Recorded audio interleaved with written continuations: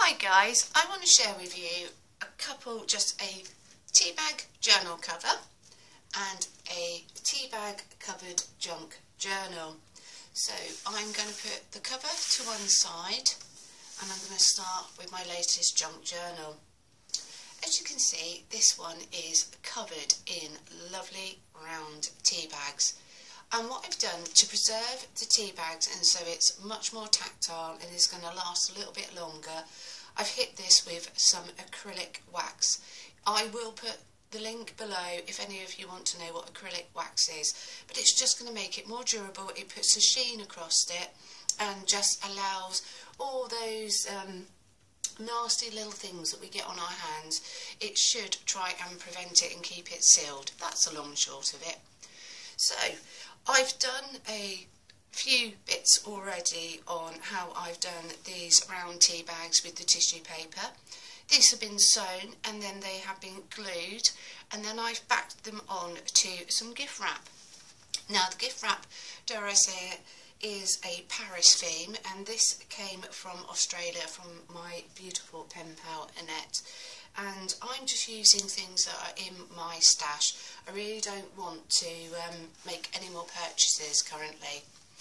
I've got a tea bag style pocket here. So there are three rectangle tea bags on one large clipper style tea bag and I've put some card underneath for some more durability.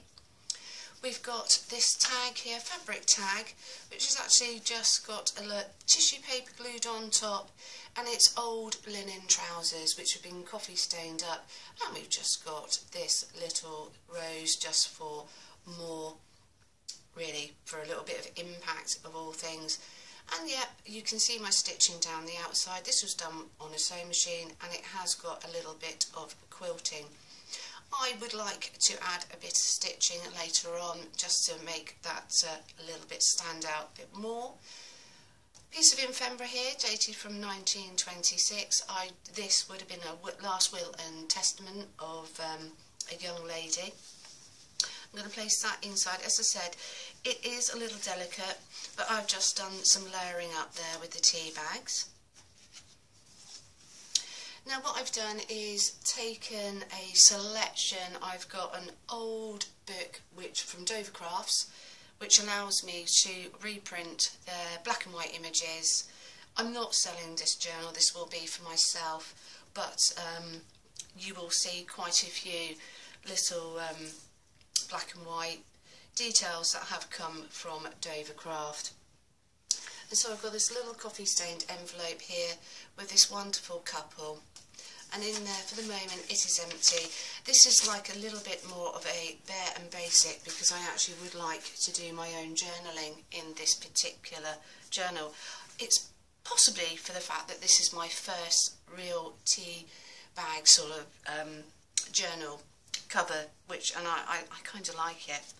So we've got a variation here. Um, I did some stamping on some tracing paper and I put the tracing paper into my photocopier and then photocopied the black and white images and as you can see I also heavily distressed it with um, some Tim Holtz vintage um, photo I've got an old, well, it looks old. This is a modern postcard and what I've done is coffee stained and because it has a glossy sheen you can see that the coffee has worked its way in underneath and it's got this crackled effect and this really is because they put a finish and I've just really soaked the postcard in a very dark solution of coffee and so it looks exceedingly grungy but it is a modern postcard. I've got a few images. I've used my plastic doilies and dried my paper. So here actually is a paper doily on this one. So you're going to get a variation. Plastic doily done here.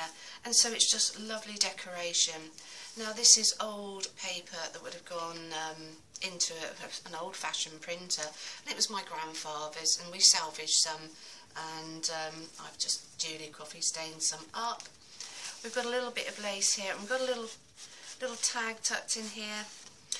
Back when I was a much younger young lady, we went to France and I was able to get my silhouette cut. In actual fact, my mum wanted our, me and my brother to have our silhouettes cut. And this is like going to be my miniature trademark. So I've just got this on this coffee stained tag here.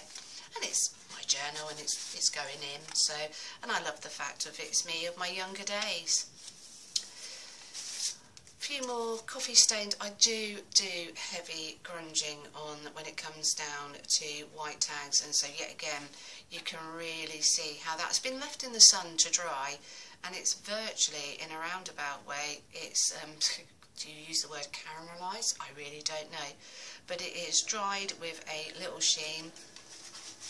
We've also got just a little old piece of ephemera here and this came from an instructions from an iron so I just like putting little bits and pieces in more images from Dover Craft Got some fabric here, which I've just stamped over. I used the plastic doily again and I put some gold metallic paint through it, just acrylic. And then i done some stamping with some Tim Holtz stamps.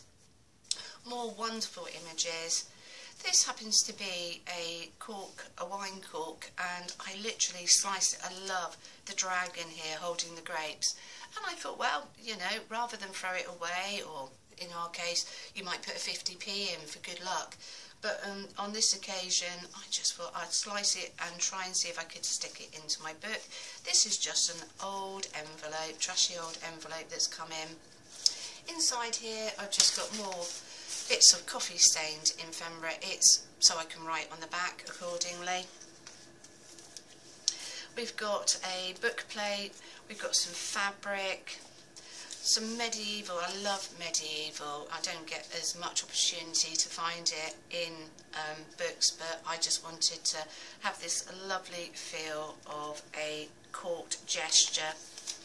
An old little um, piece of ephemera here, this is um, somebody has worked meticulously and done lots and lots of writing of history and to be honest, I just wanted to use uh, lovely pieces of work and I've just made it into an envelope which opens up and in the back we've just got this tag yet again so I can do some more journaling. The tea bags from here we actually I've sliced down the outer edge along the bottom here and this is the actual overcut of the offcuts, should I say, of the tea bags. I'm not going to waste anything, to be perfectly honest with you. And so that has just gone down the side and it will be used as a tuck spot as well. One of my photos, which I printed on my um, photocopier, just done a bit of stamping behind. This is a square paper doily. Back to one of the really grungy postcards. We've just got a bit more stamping, an old playing card here, but I just love the fact that it's got a lovely castle. I am of that sort of ilk that I love castles and as I said before, the medieval. And in the centre here, we've just got another image from Dover Crafts and I just love the fact the charming Chloe an area that's plain, ready to be journaled on. What I've done this is a resist, this is my passion fruit, this is my passion fruit leaf. I laid that on top of this paper doily and allowed the sun to um, to dry. Left it out in the sun but what it's done is worked as a resist. The passion fruit leaf has gone down and so the coffee just hasn't seeped in underneath We've got a bit of fabric going on here. Waste not, want not is a good saying and it's got a big curve cut out of it. In actual fact, goes all the way down. So I've put an image over the top and then placed it onto my paper and turned it into a pocket. And as I said, as we're working on the themes of um, cloisters and monasteries and abbeys, I've just enclosed a 1960s style piece of ephemera from Suffolk. More plain pages, a little bit of stamping, a very small little envelope here awaiting some form of ephemera. A bit more stamping back on the old trashy envelope. More images. More tea bags down the outer edge for interest. I received this lovely little envelope here in the post from my friend Pajero from Germany and I took two different stamps here, stamped one with the little poem and then found one to go around the outer edge. And this works as a little pocket, so I'm looking forward to putting something inside. Another pocket here with a little bit of lace trim and another piece of, this is just a piece of knitting ephemera. I've left these plain, awaiting some form of stamping or journaling.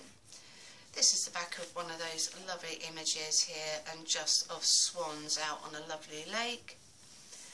Cut this ace out of um, a pack of cards, so just took that from the centre. Got a little bit of, of the tea bags here.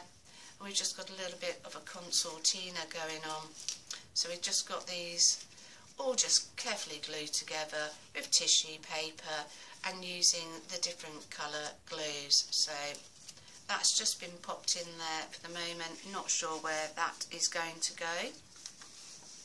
And then just to the back page and a few more images and I just love these beautiful gowns that these ladies are wearing. You will notice also that this is the back of my journal. You can just see where I've cut round. I didn't make the quite the right measurements And I kind of like its quirky, the fact that it doesn't completely butt up to the end. So it's going to be mine. I'm not majorly concerned at all, but I'd think about it if I was doing it again in the future. So that's my junk journal. And then we've got another variation here, another cover that I've made. And this is Mod Podge, tea bags, tissue and cotton fabric. So I literally, you can possibly see the tea bags underneath and this I'm going to put sewing machine round the outer edge and yet again I'm just enjoying the fact of mucking around with tea bags and seeing different variations of ways of layering up using fancy tissue paper. Right guys, I hope that has been helpful and I hope that you also like this style of journal cover. Be great to hear from you and I will catch up with you soon. Bye bye.